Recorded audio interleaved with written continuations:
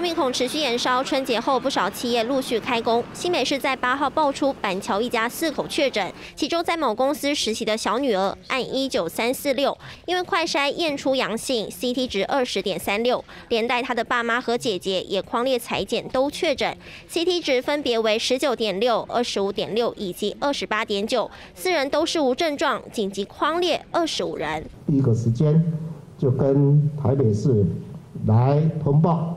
那台北市也立即启动疫调扩大裁剪。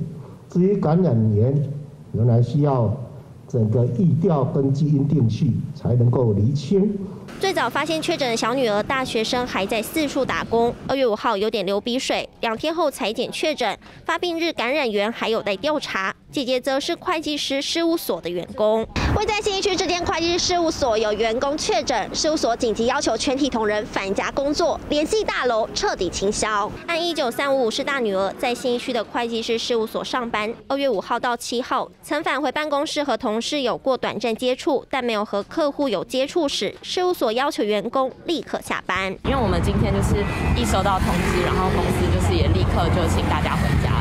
新北市府也公布一家四口足迹，小女儿足迹最多，包含 IKEA 新庄店、宝雅新庄隆安店以及多家超商。检验路线包含板南、中和新路以及环状线等五个站点。父亲足迹多了松山新店线以及姐姐的新一淡水线。一家四口感染源不明，足迹多横跨双北，重叠的民众得要留意。三一顺刘者张启云台北采访报道。